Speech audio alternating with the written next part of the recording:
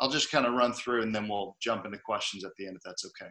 Sounds good. So, um, so the Paycheck Protection Program is part of the CARES Act that was passed a couple of weeks ago. The two trillion dollar um, fake money uh, printing uh, that occurred. So why not get some of our own monopoly money as small business owners, entrepreneurs, sole proprietors, um, 1099 uh, independent contractors? That's really what this intends to do. Um, is to keep people uh, financially solvent, functional, allow those who have employees to keep them employed or to unfurlough staff uh, over the period of time when when this is um, kind of reaching its apex in terms of the COVID nineteen um, pandemonium and all the all the havoc it's wreaking on the economy. So um, there's 350 billion dollars set aside as a part of that plan to make something called Paycheck Protection Program loans. These are offered uh, to businesses. Well, we'll just jump into it here. What is the uh, what is the I'm just going to call it the Triple P program. Um, it's uh, again a component of this uh, two trillion dollar relief act and yes, we don't know how many zeros that is. Um, it provides, uh, again, $350 billion. And the, the, key here is not loans, not disaster loans. These are forgivable loans. So you should think of these as grants. Um, if you use the proceeds of the loan uh, for covered uh, and allowable uses, the government will forgive it 100% uh, of the, of the expenditures. Um, and everyone should be able to uh, to, to see these loans forgiven. Um, so it's mainly small businesses, uh, not for profits, 501c3s are also included, uh, veterans organizations, tribal organizations, um, and anybody negatively impacted by coronavirus, which is uh, everybody broadly drawn. You just have to say, I've been impacted, and then you're eligible.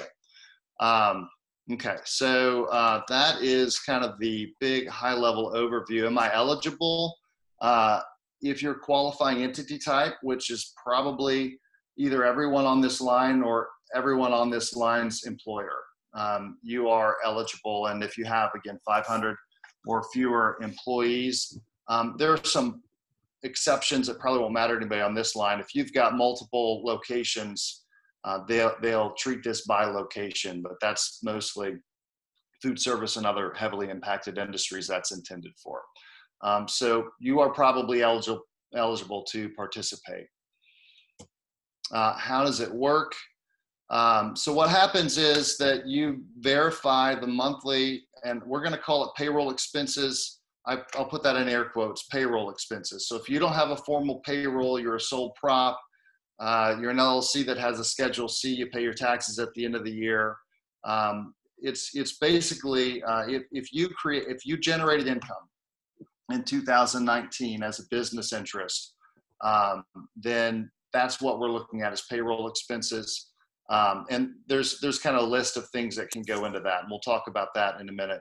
This is where most of the questions are. Well, does this count? Well, what if I have a W two and then take distributions as an S corp? Well, what if? What if? What if? So um, we'll talk about some of that. There's some additional regs that came out last night that are going to clarify that, and there's still going to be questions that the lender is going to have to answer uh, as they document these things. But that's the idea um, uh, for payroll expenses. So we're going to take um, your payroll expenses, you average it out uh, over 2019. If someone uh, did not start their business until 2020, uh, you can take the uh, interim average kind of year to date of, of revenue. For most people, that's not the number you're going to want to use here. But um, you multiply the monthly average of payroll expenses by two and a half, and that's your forgivable loan amount.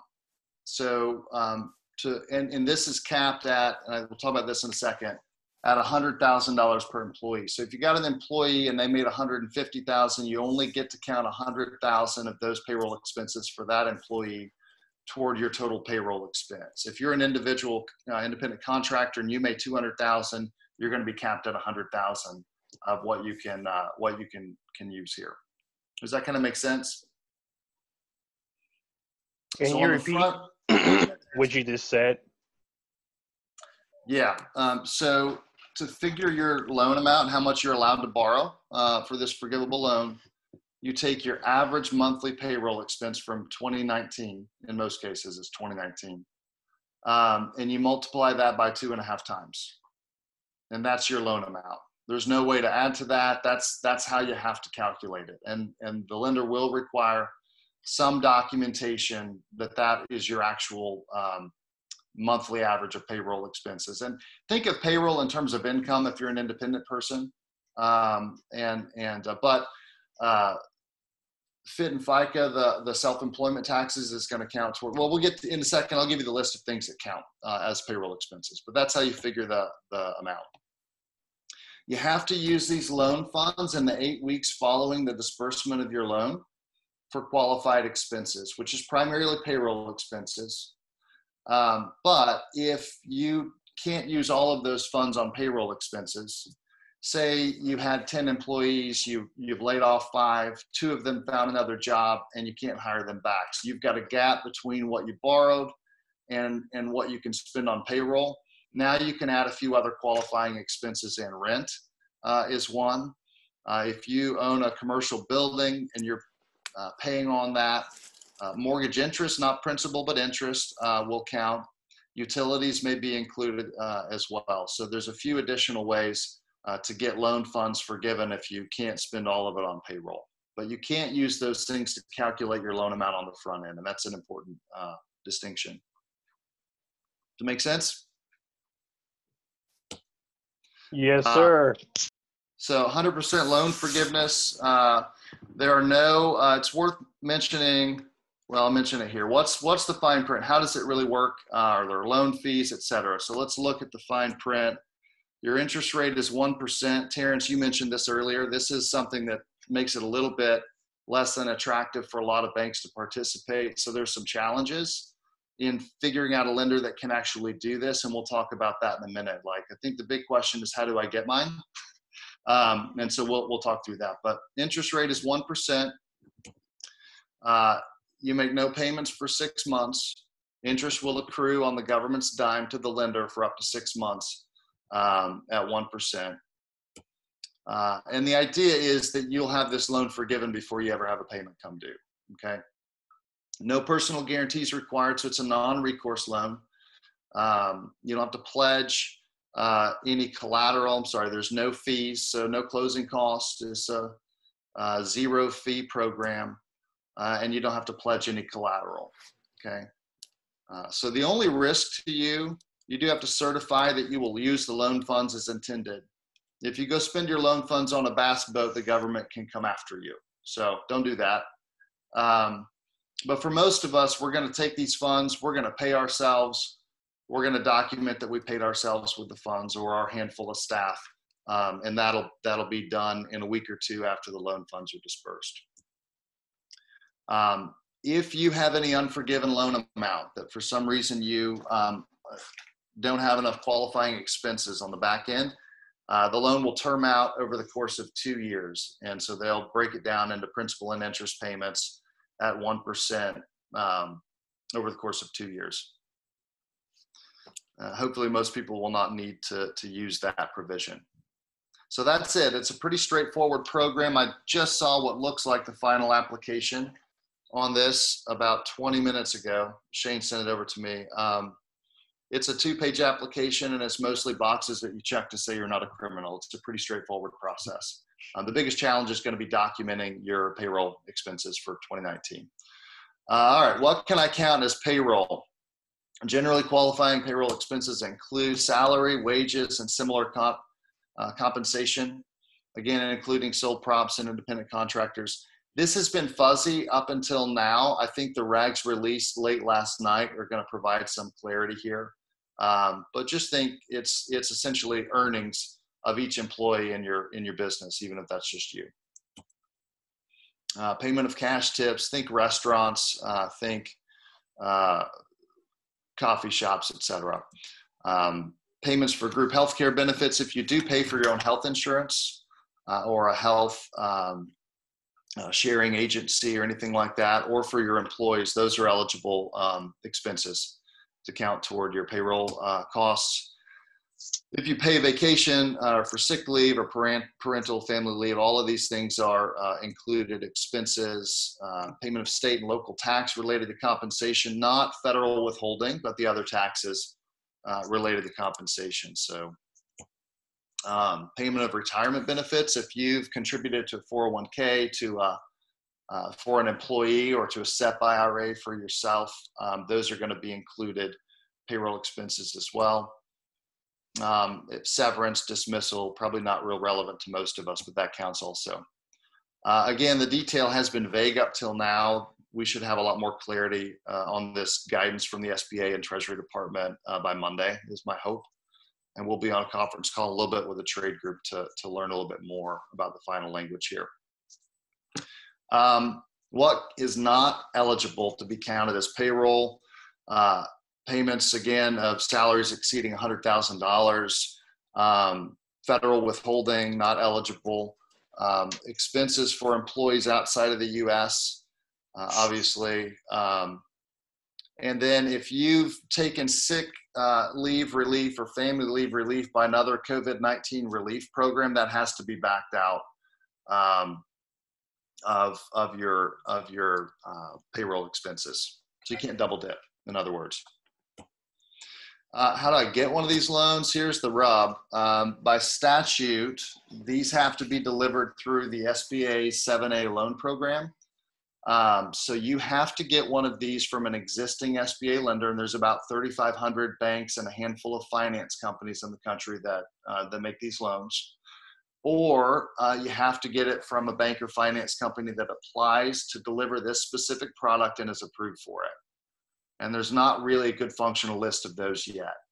So here's a challenge that um, my next door neighbor is a great example of this. He has a law firm, he has about 10 staff, he got his application ready. A local bank says, I'm going to take care of you. Um, I said, Great, it's good.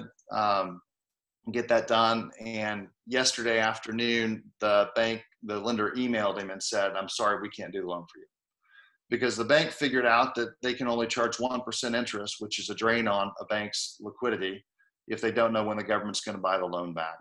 Um, and uh, and also they they just don't have most banks do not have the expertise, uh, the manpower, the wherewithal to know how to deal with the SBA. So if you can get this from an existing SBA lender, um, that's highly preferable. Um, if you have an existing SBA loan, uh, then you should reach out to your lender. The, the people that will get the first round of this financing are people who already have a loan and are sitting in the portfolio of an existing SBA lender, because those lenders benefit by putting a, a free liquidity injection into their borrowers. It makes them more able to pay them back. So all those people are going to get loans first. Um, and then some SBA lenders are going to release this program more broadly to new customers. Most are not at this point. And so that's where my partner Shane and I, because we work with these guys, we we have a feel for uh, which lenders are rolling this out more broadly and which are keeping it just to their own customers. So you really, um, people want to call their local bank. Their local bank really can't help them. I'm a Chase customer, and this is the other thing. There, there are a few large national banks that will provide these to their business customers. If that's the case for you, you'll get an email from that bank saying, you can apply for this loan and there's a specific channel. You can't go to the local branch even and ask for it. So i got that email from chase last night. Uh, i will probably take this through uh, one of our clients who makes sba loans because i know it'll get done faster than you know 20 or 30000 in the queue at chase. Um, so you, you just want to ask a few um, questions of someone who's a lot of people know about this. A lot of people's brother is make are making these loans at the bank you need to ask what their um, wherewithal is to make SBA loans. Were they making SBA loans before this program became available? Are they approved uh, to make them if the answer to that question is no?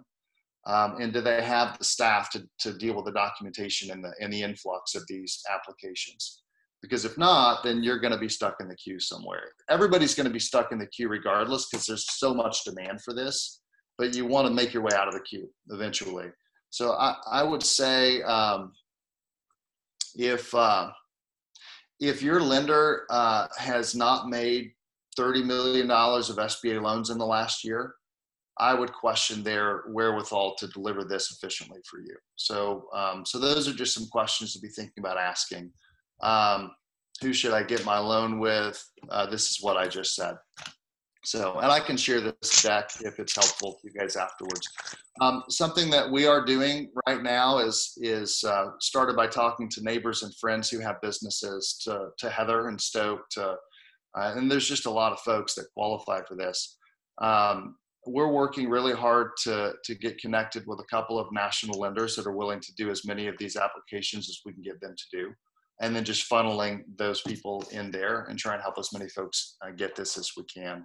We're applying personally for it. Um, so we're in the same boat as the rest of you. We just have the dumb luck of sitting in the sector that is the fulcrum of where all this stuff is happening and knowing.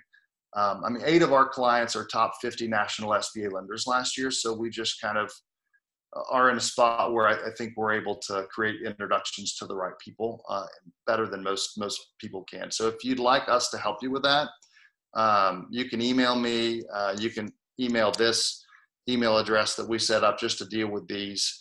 And as soon as we have final application and information on what you need to put together to um, to get your application submitted, uh, and we know where to shepherd that, that we're confident uh, it's going to get done, and you're not going to uh, get jilted, um, then we're glad to help if you'd like us to help. So, um, a lot of people ask this: Can um, can Mark Cuban make my PPP loan for me? And uh, unfortunately, no, he can't. We're sorry about that. Um, he does like to talk about it on CNN, though. Uh, we think it violates his social distancing policy. So, um, so that's kind of an overview. That's a bunch of information real fast. I hope that's helpful. Do you guys have questions? And I'm gonna should I leave that up? I'll just uh, exit this here and and uh,